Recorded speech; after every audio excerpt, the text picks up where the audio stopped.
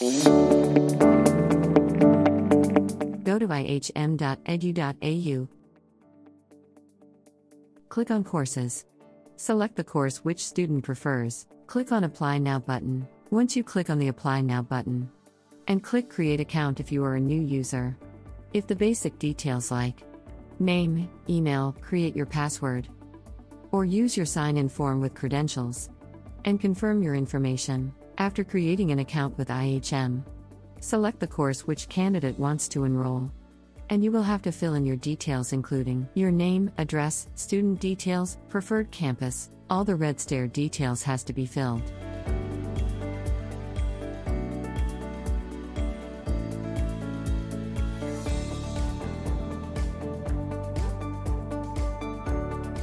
And once you fill all the required data, you can click on Save and Next.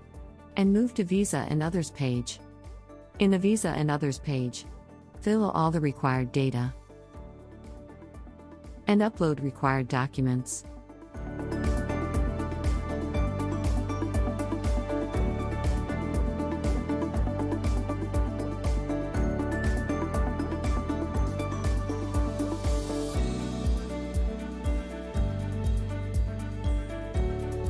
Click on Save and Next. Supply which leads to qualification page. In qualification page, fill the required columns.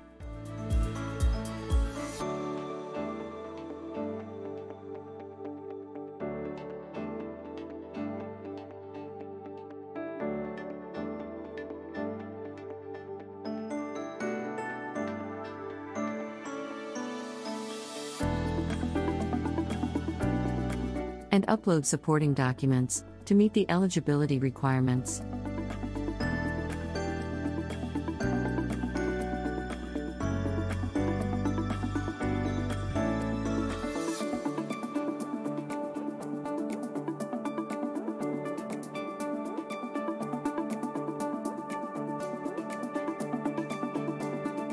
Submit your application. Accept the terms and conditions and submit the application fee payment. Once you have done this, your application will be considered complete. Upon submitting your application, one of our IHM admissions consultants will contact you and provide you with more details about the enrollment process or offer letter. Thank you.